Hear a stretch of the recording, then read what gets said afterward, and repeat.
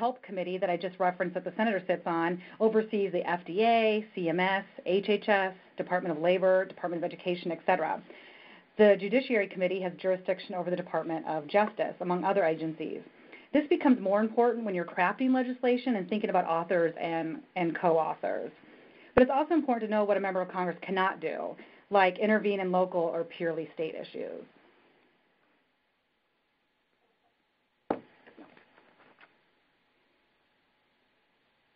So, um, when thinking about how to engage with a member of Congress, it's important to know how they are influenced and the culture of the state or district they represent. This is especially true for congressional members. Is their district rural? Is it urban? Is it aging? Is it young and growing? Is it or is it is the population shrinking? You can also find out what the member is passionate about and what kind of personal connections they may have to your issue. Like, for example, the senator is very passionate about mental health. This is something that um, he's been working on since he was elected. He sits in um, Senator Wellstone's seat, and he was very close to the Wellstones, so he feels not only, um, you know, he feels a moral obligation as well um, to Senator Well- Wellstone as well to this important issue. But he also has personal connections. For example, his mother suffered from dementia, and so that's an issue that's close to his our heart. And he also is very, um, very keen and understands the issues with caregiving um, caregiving of our aging population. So when you're thinking about how you're how to approach your a member of Congress, you can sometimes find out about these ways in which a member is connected to your issue. Bethany, if we can just pause mm-hmm. right there, I think that's a point we want to underscore a little bit. When you're meeting with an elected official at any level, I think it's important to ask them what they care about and maybe even why they ran for office in the first place, because sometimes it is very personal reasons, and that's a, a, hint at what they might be passionate about. Um, Bethany just gave you some examples. Some others are um, we probably wouldn't have the Americans with Disabilities Act if Senator Tom Harkin hadn't had a deaf brother. Or uh, in the case of mental health parity, you know, Senators Wellstone and Domenici both had siblings with mental illness. So that, mm-hmm. that's really a key point. Let me ask you another question, Bethany. Um, if we're trying to connect with a member's office, would we be meeting with the member themselves or with staff? Yeah, so that's great. Um, definitely, we're going to be talking about the staff roles and how important the staff are in a couple minutes. But um, and to know that when you're meeting with staff, it does not indicate whether an issue is important to a senator or not if they send staff. It's just a matter of there's so many issues and there's so little time, and that's how staff. And so I'll talk a little bit about how to best utilize staff. Great. Um, another thing I want to talk about is understanding the member's record. So if you're going to go talk to your member of Congress or their staff, you can, you know, obviously look up past votes um, and their public stances on your issue. For example, if you want to ask your member of Congress for increased funding for after-school programs, if possible, find out how they voted or if they made any public stances on after school programs. And if they supported it, take the opportunity to thank them. This is something that people um, is underutilized. We love being thanked. Um, you can imagine, or uh, people who answer the phones, a lot of people call to share their issues and concerns, but it's also nice just to call and thank people. And to think about this, if you do advocacy, sometimes it's easier to ask your volunteers to do a thank you call than it is to ask about um, an issue they may not know how the senator feels about. Good tip. So yeah, when you're, you know, again, it's also important to understand what the job of a member of Congress is. The main job of Congress, which we may forget, is to draft and pass legislation um, and to vote. To do this, they hear from all sides of an issue and must make a decision, and most of them also want to be reelected. Can we pause there again, mm-hmm. Bethany? Um, as you heard from Bethany's opening comments here, House members, there are 435 of them. Okay, so they're representing a smaller number of people mm-hmm. based on maps, uh, based on congressional district. But those two senators really represent the whole state, yes. right? Yeah. So can you talk a little bit about how their um, how their purpose might be a little bit different than a House member? Yeah. Um, so yeah, definitely with the house, they have a much smaller defined um, geographic area and might have a more defined constituency. Um, with the senators, they cover the whole state. So you can imagine with specific issues, maybe environmental or um, really any issue, they have to balance what are the needs of our folks in greater Minnesota versus our, you know, the folks in the Twin Cities. Um, and there's just a lot more stakeholders we, you know, have to engage and need to engage, um, which is why it's so important for, you know, the organizations on the phone and within the Minnesota Council of Nonprofits to be involved. Great. So now we're going to talk about the role of congressional staff, which obviously I think is really important um, because I am one. So the one thing I want to say is get to know your congressional staff. Make them your best friend. Each senator has offices around the state. And so Senator Franken has his main office in St. Paul. Then he has an office in Duluth, St. Cloud, and St. Peter. And then he has folks who are home officed um, out of Willmar, East Grand Forks, and on the Iron Range. So he has folks all over the state who are willing and want to meet with people like you. and then each House member has at least one office, maybe two, within their congressional district, depending on how big it is geographically. And then they also have um, DC offices, obviously. And there are various staff who play various roles, and I get to some of those, but I'm going to focus on when it comes to policy. The member of Congress um, usually have some sort of outreach staff in a state who are their eyes and ears on the ground. They meet with folks, attend events, watch for state trends and issues on behalf of the member. And state staff um, also staff the member when they are back in the state and may also help determine what um, state activities the senator um, or member does when they're back in the state. And so my job as a state staff person is to be very in touch with my DC um, colleagues. And so I work very closely with DC staff who handle the legislation and all the committee work. So you can easily find out who the staff person is who covers your issue just by calling. You can call the DC office, or sometimes it's just easier to get through to the district offices. We have less call volume. And you can just ask who covers education for the senator in the state, who covers immigration, who covers healthcare. You can ask that, and you'll be able to get a name and phone number. Leave them a message and ask, you know, to meet with them. So, for example, I'm Senator Franken's liaison on healthcare. So I am attending board meetings, I'm going to events, I'm meeting with advocates, organizations, and lobbyists. I'm tracking healthcare trends and what's going on at the state capitol. Um, I'm also in constant communication with the Center's Health Policy Advisor, Hannah, and then we also have our legislative correspondent, Emily. And so we are the we are the Center's healthcare team, uh, the three of us. Um, and so I tell her who I'm meeting with, um, what I've been hearing in the state, and then she tells me who she's meeting with, who's out meeting with, what the committee schedule is going to be, what bills they're working on. I, if I hear a bill that's going to be working on, I'll go back to stakeholders and ask them about it. And we rely heavily on stakeholder input and engagement. And while we try to reach out to a broad network of healthcare stakeholders, I just want to underscore we don't know you exist until we know you exist. So it's really, you know, I try to do my due diligence and reach out to um, all the folks, but in, especially with social service organizations or direct service organizations, there's just so many that it's hard for us to reach out to all of them. So that's why it's so important for you to make a connection with us so then we know we can rely on your expertise in a specific issue. And Bethany, is it ever possible that um, a member of Congress would visit our work site if you are delivering services in the community and you want them to see good work being done on the ground? Yeah, that's a you know that's a great question, and that's something definitely why it's so important to involve your um, your state staff in your work. Um, you know. again, Senator Franken's schedule is a little challenging because he, you know, he may be in the state and never come to the Twin Cities. He may just be in, you know, Southwest Minnesota visiting, um, you know, Northwest Minnesota vi- visiting the floods, Southwest Minnesota visiting, you know, where they had the ice storm or um, dealing with those the ramifications from that. And so, um, I, if someone wants Al to visit an organization, I always try to go first. Like, invite me to come. I'd love to come, meet your staff, get a sense of what you do and what the visit might look like. And then I would go back to our scheduler and talk to them about what's going on with the schedule. Another challenge we have is, like for example, with schools. They only are schools only happen Monday through Friday, and not in the summer. Al Center Franken is only usually in the state Saturdays and Sundays, and in the summer. So those are some more challenging visits, you know, and some of you can attest to that. If you're only open for visits Monday through Friday, it gets a little bit more challenging from a right. scheduling perspective.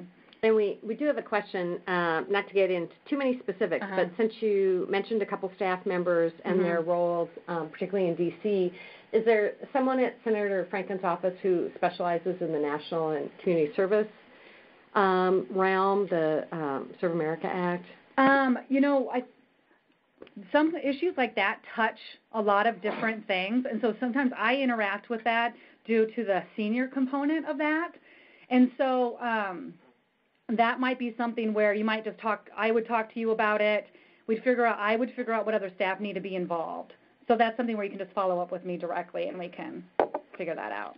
Great. And if you want to know timelines and kind of where that bill is at, um, Mhm. contact Stephanie sometime after uh, 11 o'clock this morning. Uh, let's keep moving Yeah. on and talk a little bit about these specific roles. Yeah. So I've already mentioned a few specific kind of staff people. So there's me, the field representative, or you know sometimes they're called field direct um, outreach director. Different uh, members have different titles for us. Then there's constituent services, and I just want to say, like in the congressional offices, most they have much smaller staff because they have smaller geographic area, smaller population, and so their constituent services representatives do dual outreach. So they might do they're in the office doing casework, but they're also out doing outreach. Then we have our state or district directors, and those people who manage the state offices um, and uh, provide leadership and strategy in the state. The legislative assistant, who's in D.C., who I talked about, who's managing the legislative work, and then the chief of staff. They're usually in D.C. in most offices, and they manage the entire staff and do and the strategy for the senator from the top. And then, oh, I also want to mention interns here. Um, interns play a very important role in our office. They answer our phones. I always say, be nice. Be nice to the interns. Um, they answer the phones and do such great work for us. And so, if you know young, if you work with young people, congressional internships are a phenomenal opportunity. Um, you can find more information on our website. I'm just curious, uh, Bethany, do you ever feel like that gentleman depicted in the picture there? it it sounds uh, like it could be overwhelming, given the the scope of Mhm. activities a U.S. senator is responsible for um, and the number Oh. of constituents. Yes, I am sure that my colleagues in D.C. they were up late last night in Judiciary Committee talking about the immigration bill. I'm sure some of my colleagues feel like that this morning. I bet. Um, let me ask you one other question because this can be confusing for people. Um, so especially in the House, where the the um, lengths, the terms of service are much Mhm. closer together. What's really the difference between campaign staff Oh, and that's a good official question, yeah. staff, and when you know? That's a good question. So some people don't understand that um, if there's actually a very bright line rule. It's actually illegal for me to be involved in any of the senator's campaign um, anything. So um, so there is Senator Franken has campaign staff, and as as you know, I'm sure most of you on the phone know, he is up for reelection in 2014. And so he's actually considered right now in cycle, is what we call it. He's actually a candidate right now. It's kind of hard to think of him that way because he doesn't have um, any opposition right now. But um, but so he has campaign staff, and that his campaign operation will get fuller and bigger, and there'll be a lot more people. And then that also places demands on the schedule. So there'll be so he'll have to do campaign thing. You know, be have campaign events. There'll be less opportunity to what we call I'm official staff to do official things. And so I often have people who stand with me and they're like, "Oh, I just want to let you know I voted for Senator Franken, or I, you know, or I blah, blah, gave money." And I'm like, "That, thank you," but um, we represent all Minnesotans, and so that's great. But I, it, I actually I don't really care because I'm going to do the great same amount of work I would do for you as I would do any for anyone else.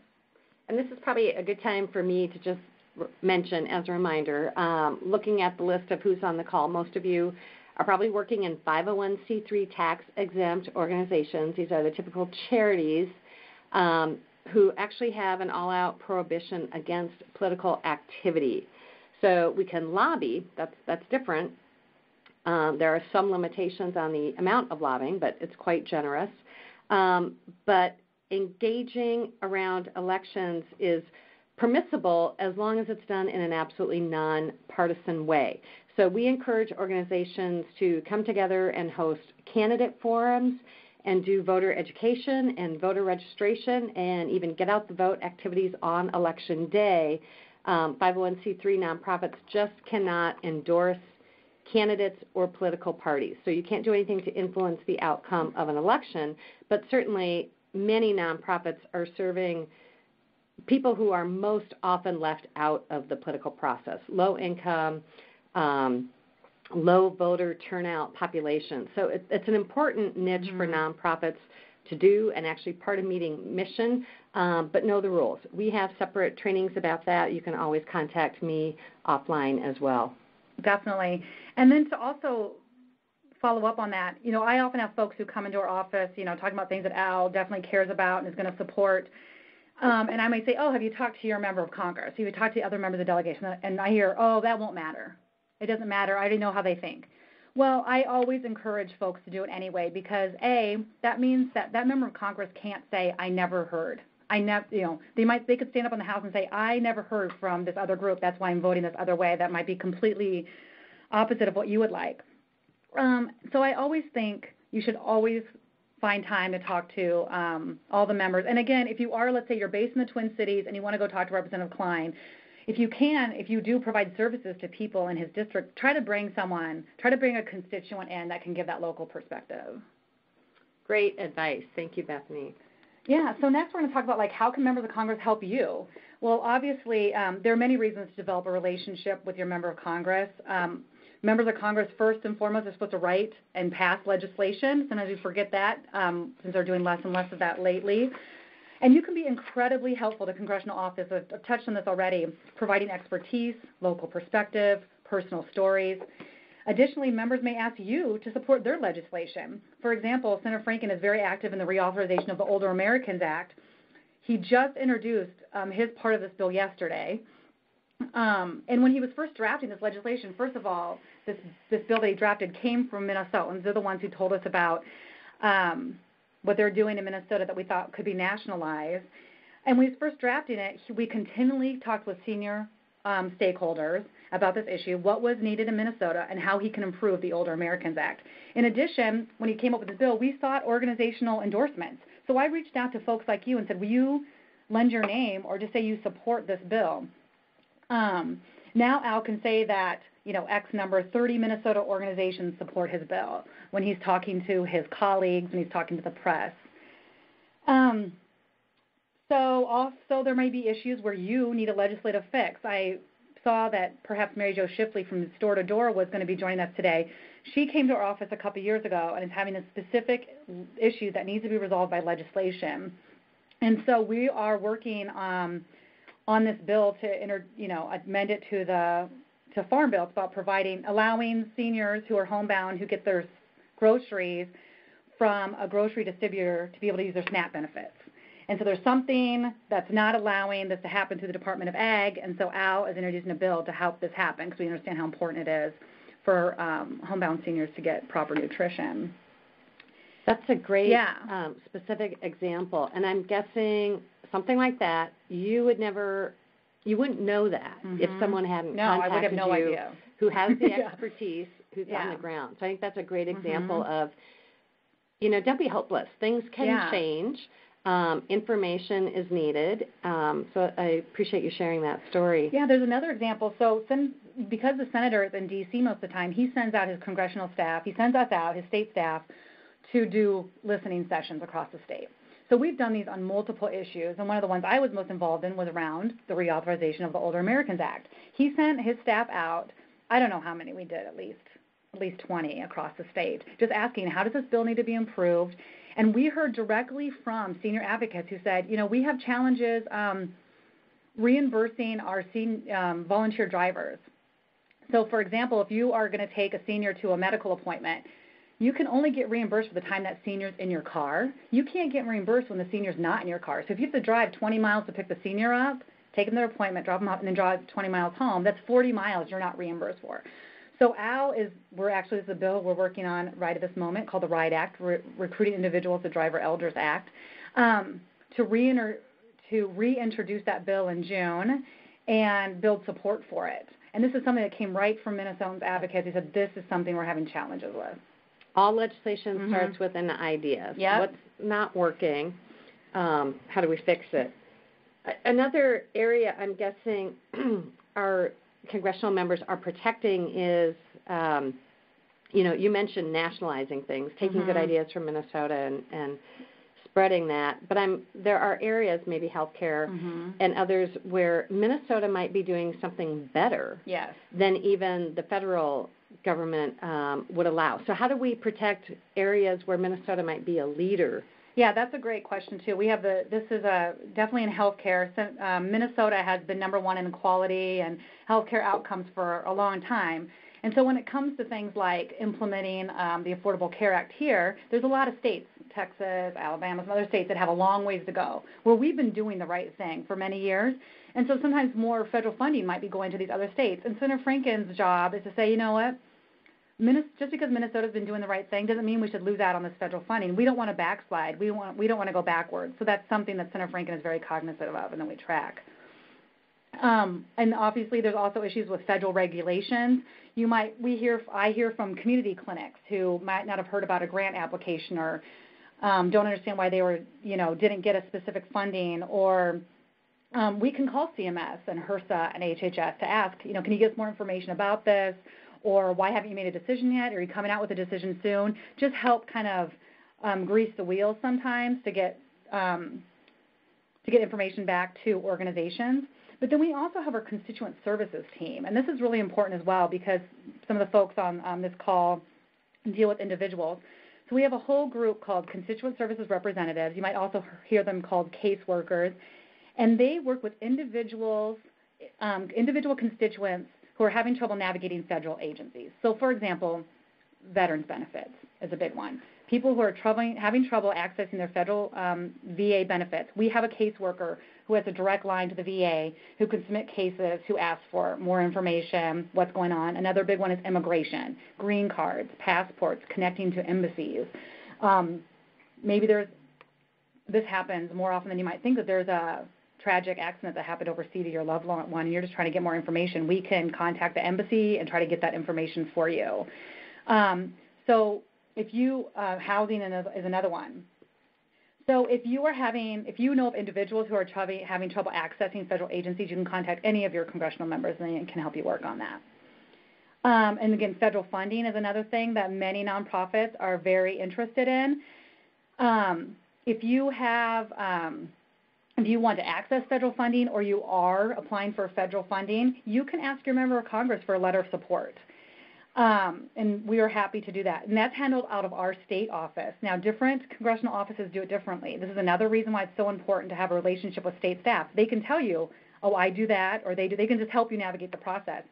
But I just want to make a caveat. Members of Congress cannot weigh in on private funding decisions. So, for example, they can't write a letter to, you know, a foundation or to a state agency um, asking for, for, to make a funding decision. Um, so I guess I just want to underscore how important state staff can be. There's also like with scheduling, inviting a member of Congress to your um, organization. I can, you know I can't tell you how many times something gets mailed to DC. It takes them a while to get through it, and then I get the invite a week after it happened. Like, and there's nothing I can do then. So it's just you know it's just important to know if you have an event going on in Minnesota, send it to get to know that state staff or send it right to the state staff. If you want to invite the member of Congress somewhere, they can tell you who their Minnesota like we have a Minnesota scheduler. And then I always say CC me. If I don't know you invited out something, I can't fight for it or I can't make a pitch for it. I, I oftentimes those decisions are made and I didn't even know that it happened. I'm like, ah, why didn't they why didn't they just CC me or tell me they're inviting the senator somewhere? So And I know from looking at the websites, all the contact information Mhm. for every district office, state Mhm. office is on the website, correct? yes, yep. We have a question, Bethany. Um, actually, we have a couple. Let me ask you one first about, you Yeah. mentioned the listening sessions that are Yeah. held around the state to Mhm. hear directly from constituents. What if you have a specific issue area? Is it possible you might appeal to staff to host a listening session on your topic? Oh, well, I mean, to do a, a full out, like, you know, 20, 20 visit, you know, statewide listening session, probably couldn't pitch that. But you, I mean, we love it. I love it when organizations host a congressional briefing, invite me and the other congressional staffers to it, just to tell us, just do it once a year. Up, update us on who you are, who you're serving, what your federal connection is, if you have a federal legislative agenda. We love that. Um, and so I, you know, and I've helped organizations do this. Um, I've helped ho- host them at my office. Um, so that's something to that you you should definitely do. And that sounds like a great option for a coalition. An individual Mhm. organization, you know, uh, probably would want to look to their colleagues in similar fields to have kind of a critical mass of people who are working on the issue.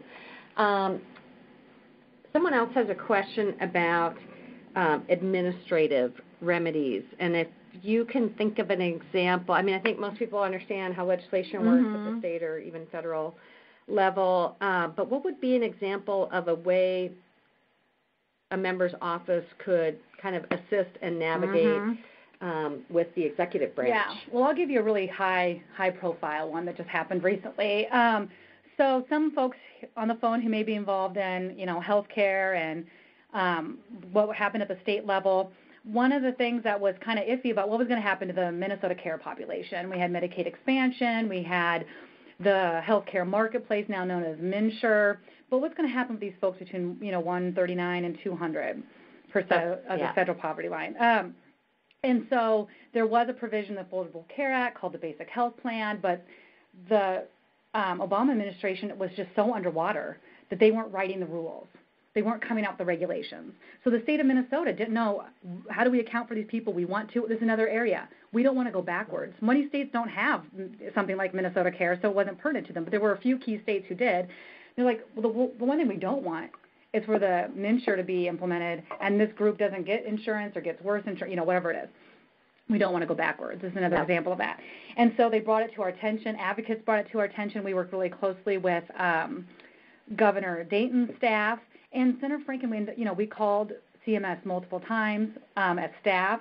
Got elevated. Senator Franken called um, called CMS multiple times, and then he eventually had the opportunity to talk to the president about it and said this is important to Minnesotans, and um, they said they're going to come out with the you know the regulations in 2015, which allowed the state legislature to draft their legislation and fund it, and that just got passed. I don't know if it was over the weekend or last week or this week. Um, and so that all happened because people brought it to our attention. We worked closely with Governor Dayton's um, administration and the Obama administration. It's also a great example of how state governments need to work with the federal government Mhm. on implementation. Um, and I think I've heard the phrase that 30 cents out of every dollar that comes to Minnesota originates in Yeah, Washington, yeah, D.C. yeah. So it's both policy and money.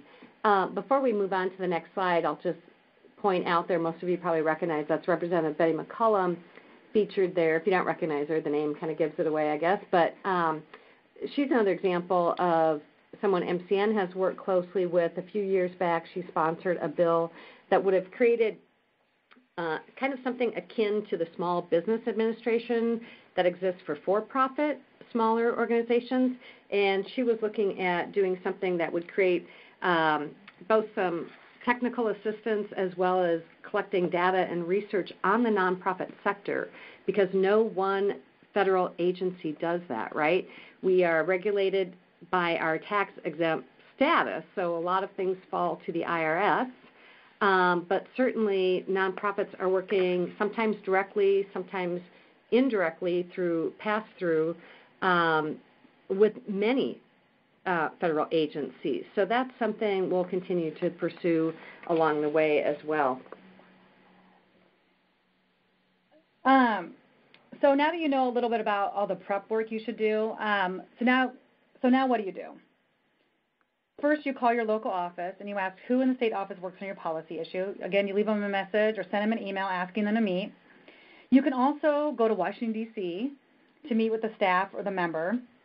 Um, I just want to underscore that you don't have to go to Washington D.C. There's other ways to get in front of um, the member and the staff. But some folks like to do this. It's it's challenging when you're a senator to have individual meetings in the state. Like I said, he may never even step foot in an office when he's here in Minnesota because he's just he's traveling around visiting um, areas that are undergoing, you know, um, natural disasters or you know doing site visits or um, what have you. So individual meetings are not as common in the state. However, he takes many individual meetings in D.C. There, he's in either one of, you know, he's in his, you know, he's in one or two buildings in Washington D.C. And so it's much easier from a scheduling perspective and just the kind of the nature of the work out in D.C. But even if you can't get to D.C., you can meet with um, you can meet with state staff. So, for example, I meet with people often and invite my DC colleagues to listen in on the phone. So you're essentially having a meeting with the DC staff without the DC staff being there. And then we can sort out amongst us who's going to do what kind of follow up and what needs to be done. Um, you can also, obviously, we talked about inviting the member of Congress to visit your org. Again, it's best to know the state staff and develop a relationship to help you facilitate this. Um, and also, many constituents contact our office via the phone and letter. So I thought, you know, I couldn't go without talking about this. So obviously, when there's wide-scale advocacy campaigns, or just when people read stuff in the newspaper and want to call and tell us their perspective, they do that. They can call the D.C. office or the Minnesota office, and they send letters. Um, we tally all these calls. We get a report every week that says who called on what. Was it opposition or was it support? And so we can see what the hot topics are. I actually often just walk by the intern bay and I'm like, hey, what are people calling about today? Just to get a sense of what, what's on people's minds. So don't discount those phone calls. That's not the best way to call and um, like to create a relationship with the staff. Um, but as an so as an organization, it's best to you know um, touch base with staff and develop that relationship. That is an important point, though, and I hear that from state legislators as well. Um, sadly, a lot of people don't weigh in on issues, even though we live in a well established democracy and that's kind of what we rely on. But I've had legislators say if they get three calls, five calls, you know, a handwritten letter on a mm-hmm. topic, it matters. Mm-hmm. And what you heard from Bethany there is people are paying attention, they're recording all that, and that's also cover mm-hmm. for the mm-hmm. member mm-hmm. uh, when they vote a certain way is they want to be able to cite that data. This is what I'm hearing mm-hmm. from folks back home. Um, so always encourage your constituents to weigh in. Um, I think it's also good too to, if you can, uh, many of us work in fields where there's a national association or you know national level coalition on your issues, and many of them host a day on the Hill um, to draw attention to the issue and, and uh, even set up meetings with members. So encourage you to try and make one of those sometime. Yeah, and I think when you bring up national organizations, that's another thing that's interesting too. Like oftentimes we get um, issues from, you know, Minnesota, and Minnesotans bring issues to us. So then we want to draft legislation, but we need to get national, state, buy, you know, we need to get the national orgs buy-in because this is not just going to be Al Franken. Is not going to be able to pass something on his own. So sometimes we rely on Minnesota orgs to call their national orgs and say, this is important to Minnesota. Senator Franken has taken a position. He's willing to lead on it. We need to stand behind him. So that's another kind of um, dynamic that state staffs can be help, state organizations can be helpful with. Um, so last, just so so you're meeting with you're meeting with the member, you're meeting with um, staff. Here are just some tips. Obviously, we talk about be an, an expert on your issue, be credible. Um, um, keep have local stats or info on hand to demonstrate how important your issue is to the members' constituents. Um, this is particularly, you know, we love to have state level data. Members of Congress love to have congressional data, which I know is sometimes a little ch- challenging to get. Have a personal story to share, and if possible, have them in written format. Um, why I say that is because, I mean, we hear all, great stories, personal stories, but then I mean, am I supposed to be right to jotting that down? You know, A, we have to get a release maybe if we want to use it. I may not remember the all the great points of the story. So it's great if you can have that in a written format and send it to me electronically afterwards so we can um, keep it. And then address the opposition. Like we're going to ask, so who is against this? Who are now, you know, we want to be prepared, and you guys usually know better than us who may be against something um, and be able to address what their concerns are and always make the ask. I can't tell you how many meetings I'm in where they're just giving me information and then they leave. I'm like, did they want something? And, you know, I may sometimes be like, well, did you want something? But sometimes I won't because sometimes if you can't do something on it, I'm not going to offer, uh, you know, I want to offer solutions. So always make the ask and give us something concrete we can do. And then um, follow up. So we may ask a lot of questions during our meeting and um, need additional information, and so we need you to you know get that for us. So please follow up and provide additional information. And congressional staff can get really busy. We are caught up in the um, saga of the day often, and so we may forget that we said we're going to do something. Just ping me shoot me an email a few weeks later and say, hey, have you followed up on this or what's going on with this? And it's oftentimes we have to contact HRSA and we haven't heard back from HRSA yet and we we didn't realize we hadn't heard. And then we just call HRSA. You know, usually it's that kind of thing where we're just waiting for information for you, but we need to be reminded to follow up. And then last, just, you know, be respectful. you know, understand our time constraints that we have, we're juggling a lot of things, and how long it may take how long it may take us to address your issue. So if we do have to contact CMS or HHS, that can take a while. We have no control over how long they take to get back to us. Um, and oh, um, then also just like thank again, if let's say we do introduce a bill that you asked us to or co-sponsored it, tell your members, put it in newsletters, thank us, send Senator Franken a thank you note that thanks him for his leadership on it. It just makes us more, you know, determined and um, you know, want to get out there and really try to do what we can. We love being thanked, if I haven't said that enough. Here, and, and here's, I think you just demonstrated a reason we need you. Um, just in that answer, I heard you talk about HRSA, CMS, Oh, yeah. and HHS. Yeah. So why don't you translate yeah. uh, for those of us who might not work in those specific Yeah, areas? so those are common terms to folks in healthcare. So it's Center for Medicaid and Medicare Services. That's Health and Human Services, which actually oversees CMS. And then HRSA is the Health Resource Service Administration, I, I think. Something like that. Yeah. Um, so a lot of folks who work in healthcare interact with those agencies a lot. And so that's another thing is we use a lot of acronyms. And another thing, so when you're meeting with the member, um, I just cover healthcare. And even within healthcare, I know an inch about a mile wide of issues. So I'm often sitting on the other side of a table dealing with experts. You mo- more often know more than me about the issue that you're talking about. So um, while you can use usually use acronyms with me, that's great. But some when you're meeting the member, they may not be always up to date on what the acronyms mean, specifically in your little niche area. So Senator is really good. He usually say, "Oh, can you tell me what that means?" But some members may just let you keep talking. Um, so it's really good to be clear about acronyms. So I should take my own advice. well, and here, here's the beauty of these kind of partnerships. I agree with Bethany. Our organizations on the ground have the expertise to offer solutions. Bethany's got the expertise on how things get done here in Minnesota and also with her colleagues in Washington, D.C. So working in partnership together, that's pretty powerful. Um, and I think anyone who's ever visited Capitol Hill or been in Washington, D.C., knows that the Beltway is a bubble. And I think um, one thing that's really helpful in her tips is these personal stories uh, can remind members that these decisions affect real people. And that's, I think, part of our meeting mission as nonprofit organizations. I just want to bring up one other thing that I forgot to mention. Another thing is sometimes you're just going to have to agree to disagree. There's going to be times when you're meeting with a member and their staff, and you're just not going to see eye to eye on that issue. And it's always good to still tell them. You can even say, like, I know this is something that we don't agree on, but I still want to let you know why it's important to me and the people we serve, and important to Minnesotans and the people you serve but also try to find common solutions. Maybe you are not going to agree on this issue, but maybe there's other issues that the member works on that you can work on together. That's something that I see a lot with organizations. They sometimes a lot of tunnel vision. They have their legislative agenda, they're focused on these four things. When I bring up, hey, the senator, you know, I'm not sure where we can come to agreement or consensus or what we can do about these four issues, but there's this other issue that affects the people you work with that senator is really um, works really hard in or is really interested in. Sometimes you have to kind of broaden your perspective and say, okay, that's not our legislative agenda, but yeah, we can help you work on that, or we'll lend our support, or we'll lend our endorsement. It's not our number one top, you know, issue.